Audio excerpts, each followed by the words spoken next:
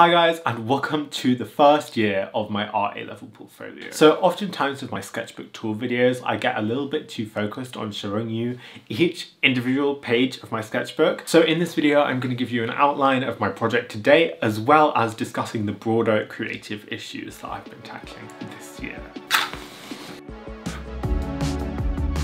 Imagine you're in the bath at home Suddenly the door opens and in pours 15 men wearing immaculate grey uniform. They start to dismantle everything you see. The door, the sink, the toilet, the mirror. The walls all fall away abruptly, revealing a restaurant around you. What you thought was your bathroom was actually an elaborate set. This was a dream that I had in December 2019 when my brain was trying to process all of this stuff that had happened to me. I quickly became interested in the subconscious and how our minds actually work and I wanted to explore this in my art project, inspired at first by the work of Gregory Crewdson. He's this photographer that creates elaborate sets with huge budgets to bring his visions to life and this quote really spoke to me.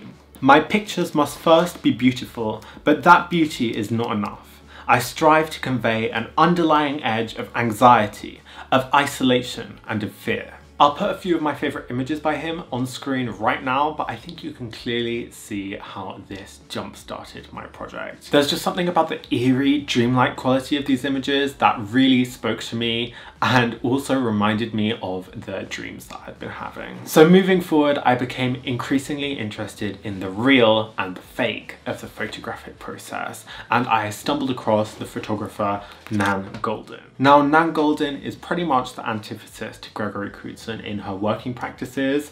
For her, it was really a sin to move a beer bottle out of the way because it had to be exactly what it was. Her images are more about documenting the moment, documenting the mood, and her ideas were a real mindset shift from me, from trying to document the visuals of a dream to trying to document the feeling of a dream. This led me to Photoshop together my paintings with my reference photos, again toying around with this idea of the real and the fake in art. My project became more about the manipulation and the distortion of images and trying to create something that was overwhelmingly abstract but as you zoomed in then you saw more of the details, some staircases, some windows, some doors. This was more about trying to convey the feeling of dreams, the feeling of bewilderment. From here I made the leap into 3D inspired by Bert Simons' Origami Heads, an obscure reference I know, but I really thought this medium would give me the chance to have a lasting impact on the viewer. It's not just a pretty image on the page,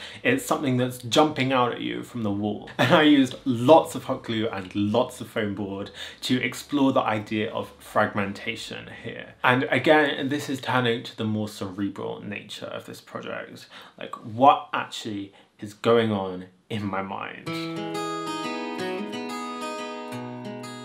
To try and answer this question, I turned to automatism. And to quote the Tate website, automatism refers to creating art without conscious thought, accessing material from the unconscious mind as part of the creative process. Just as dreams explore the subconscious mind, so does this process. Sigmund Freud actually used a lot of free association and automatic drawing with his patients. And so I thought if I got a better understanding of my subconscious, then I would be able to explore my original inspiration of dreams in more detail. And I was less interested in exploring automatic drawing. I'm not much of a pen and ink person myself, but I gave my hand at automatic painting and I loved the results. This triggered me to think more about how far can artists be removed from their work. Inspired by the drawing machines of Cameron Robbins, I used my joints as pivot points, making really broad gestural marks on A0 paper, actively trying not to use my conscious mind to just feel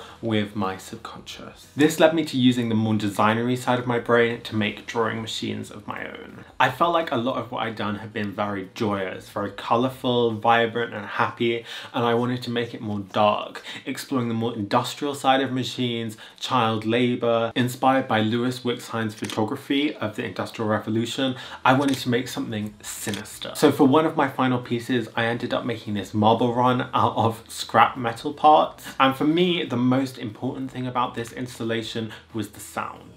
Just listen.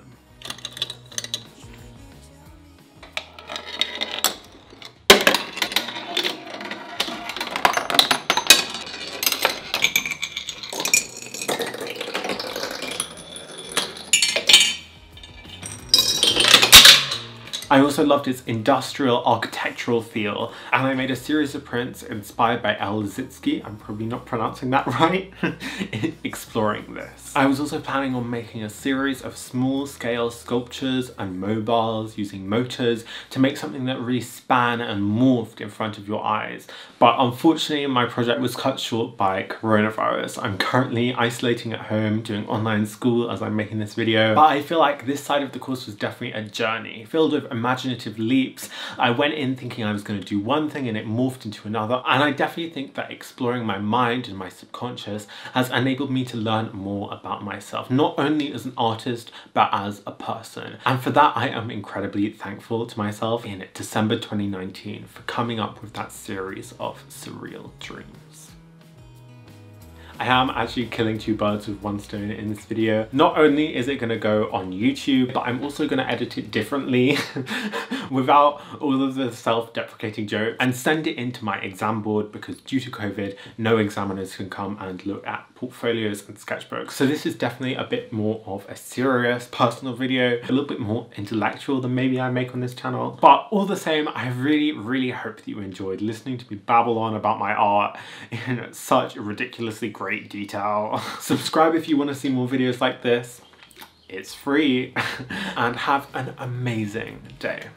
I'll see you next time.